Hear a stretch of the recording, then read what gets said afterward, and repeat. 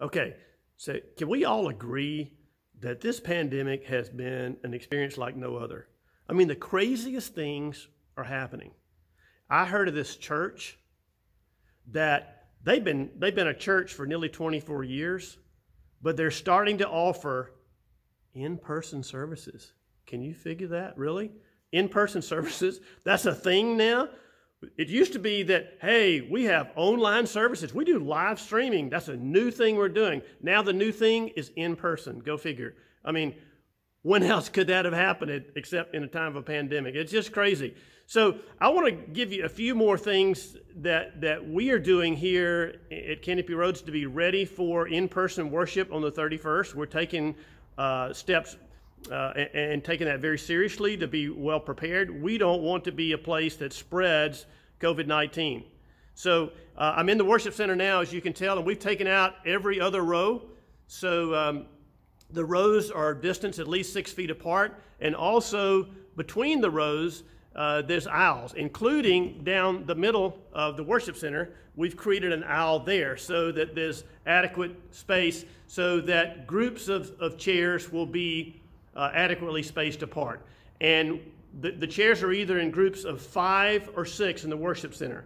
So we're going to add another level of social distancing because we, we believe that social distancing is very important. In fact, that's probably the most important mitigating technique that is being used during this, this pandemic. So if you don't get close enough to people to touch them or breathe in the, the viruses that they're breathing out, then you won't get COVID.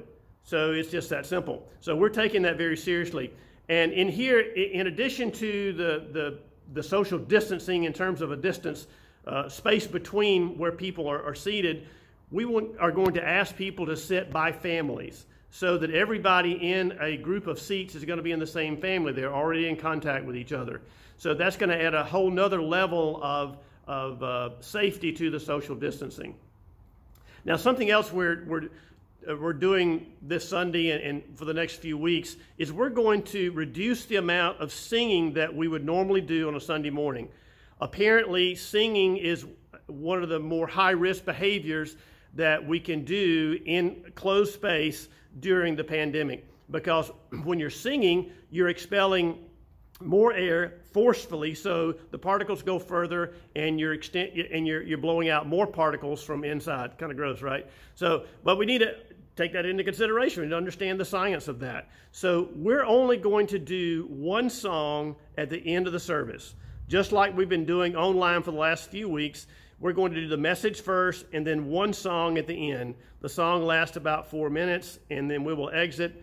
Uh, after that, all doors in the worship center will be opened as well as the, the doors in the, uh, uh, the overflow rooms. So people will be able to, to exit fairly quickly. So we won't stay in an enclosed space for very long with, uh, with the possibility of breathing in what someone who is asymptomatic might have come to the church with a disease and, and uh, would be able to, to transmit it. Uh, so that's one thing that we're doing. In addition to sitting as families, so social distancing by families, and, uh, and then uh, the not singing, we also uh, are going to ask our volunteers and our staff when they're not on stage at least, to wear a mask. Now, you may choose to wear a mask if you want to, you may choose not to wear a mask. When we go to public places around here, like going to Publix or Walmart or one of the other stores, some people have on masks, some don't. Uh, some places uh, require the employees to wear masks, some places don't. So, mask, uh, I guess there's, there's conflicting evidence about how effective masks are. It just makes sense to me that if you have the disease, a mask, and you have a mask on, then it's going to block some of the particles coming out of your mouth. It's just, you know, just, just it's, it's logical. Uh, if you have a mask on and uh, you are breathing in air and you're breathing it through multiple layers of a cloth, then some of the what you breathe in is going to be trapped in, in, those layers of the, the mask. So it just makes sense that wearing a mask could be helpful. So if you want to wear a mask, we encourage you to, we, we, uh, we welcome you to do that.